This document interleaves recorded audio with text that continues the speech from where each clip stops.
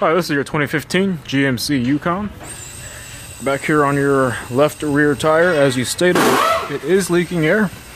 And I'll show you right here. This is that leak. As you can see, these bubbles form and they just keep And this is too far into the shoulder of this tread here for me to patch. So I'm gonna have to recommend one new tire. And because of this, I cannot rotate your tires because I cannot put this tire on the front.